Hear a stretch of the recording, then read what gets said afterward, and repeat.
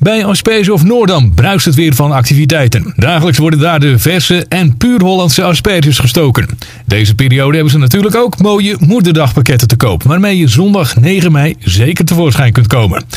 Naast asperges heeft de aspergehof alle ingrediënten in huis om een feestmaal te creëren. Zoals mini beenhammetjes, ambachtelijk gerookte zalm en topkwaliteit kalfsvlees. Asperges worden tot en met 24 juni gestoken. Dus profiteer in deze periode van dit mooie en verse streekproduct uit Wouwbrugge.